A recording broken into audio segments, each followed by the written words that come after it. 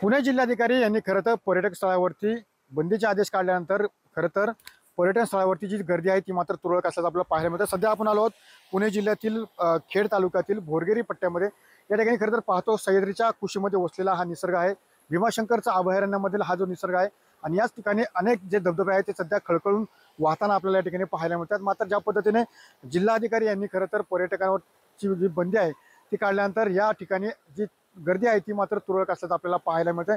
खरं तर अनेक ठिकाणी पर्यटकांच्या विविध घटना घडल्या आणि त्यामध्ये अनेकांना आपला जीव खरं तर गमावा लागला. आणि याच अनुषंगा अनुषंगाने ज्या जिल्हाधिकाऱ्यांनी धोकादायक पर्यटन स्थळ ठिकाणी खरं तर बंदी आयोजित केली या ठिकाणी पाहतो की खरं तर या ठिकाणी बोर्ड सुद्धा लावण्यात आलेला आहे की पर्यटकांसाठी सूचना देण्यात आलेल्या आहेत.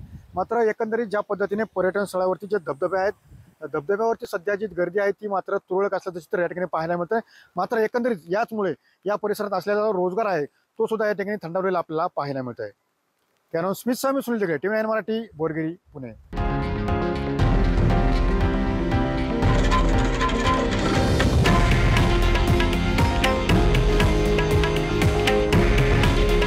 हे आहे देशातील नंबर वन न्यूज नेटवर्क आणि आपण पाहत आहात टीव्ही नाईन मराठी.